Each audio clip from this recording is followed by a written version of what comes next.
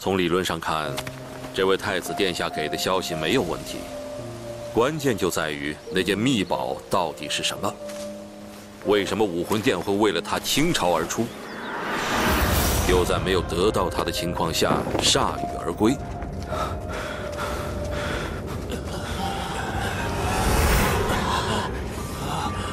甚至有可能赔上了一个教皇。会不会是魂骨？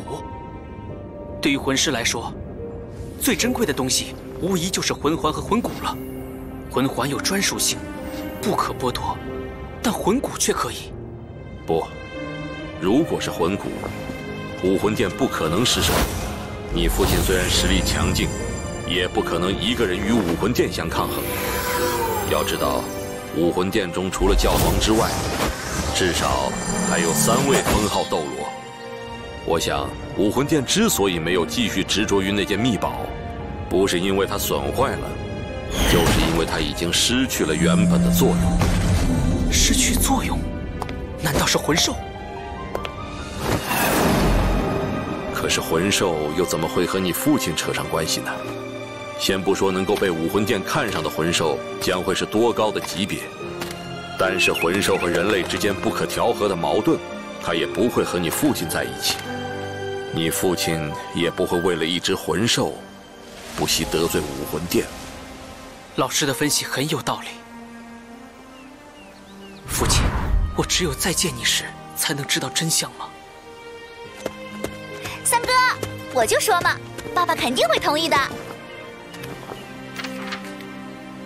小三，分心控制并非什么秘技，如果有用，你尽可与蓉蓉一起练习。你对七宝琉璃宗的帮助，又岂是这小小技能所能相比的？宁风致。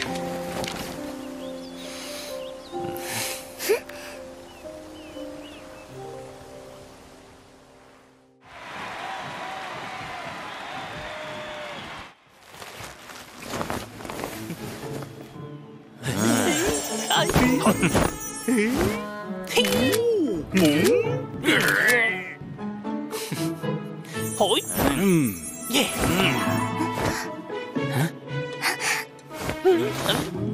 Yeah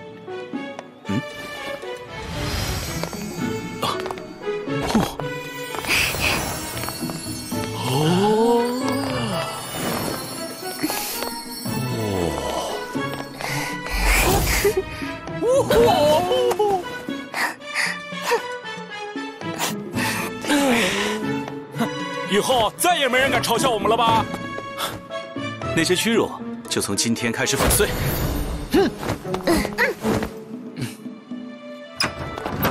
下一场比赛，我建议你们认输。啊啊！啊这几天我一直在观察你们的对手。你们下一场的对手，唉，啊，呃，现在你们有三个选择：第一，放弃这场比赛，保存实力；呃，第二，以上一场的阵容应战，但你们的胜率恐怕不到百分之一；第三，就是以全主力阵容出战，但即便能够获胜，你们的实力肯定也会完全曝光。大师，到底是什么样的对手啊？至于这么惊慌吗？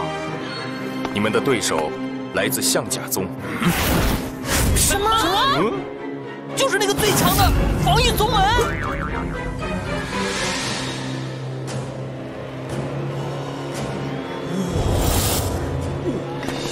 快走走走走！我！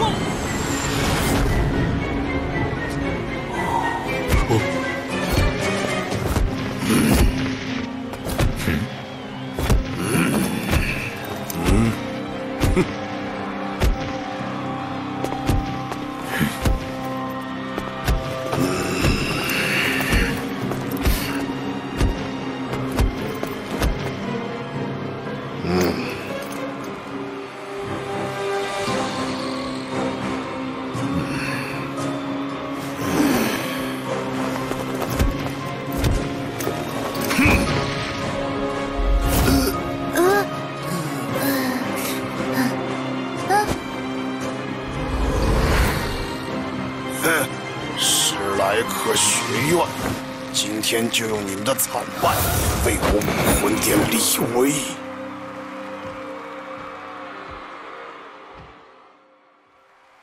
竟然是在七大宗门里排名第六的象甲宗，不，如果象甲宗能出一位封号斗罗，恐怕就不只是第六位了。据说他们的宗主呼延震虽是魂斗罗，但其防御力还在一些封号斗罗之上。象甲宗的祖传武魂叫钻石猛犸，是一种防御力极高的超级武魂，特性主要体现在力量和防御上。嗯。你们的对手都是象甲宗的直系子弟，其中三人达到四十级，另外四人也接近四十级。为了最后的胜利，我建议你们放弃这场比赛。毕竟预选赛只要前五名就足以出现了，在早期隐藏自己的实力并没有什么不妥。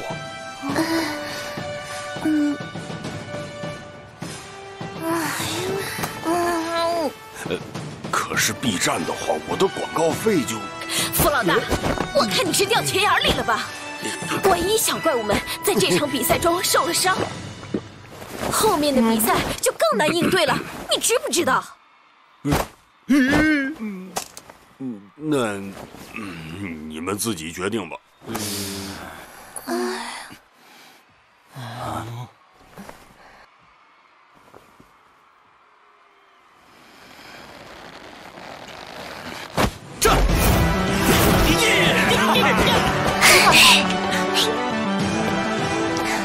老师，您说的情况我们明白，但我们参加比赛不光是为了胜利，更是为了磨练自己。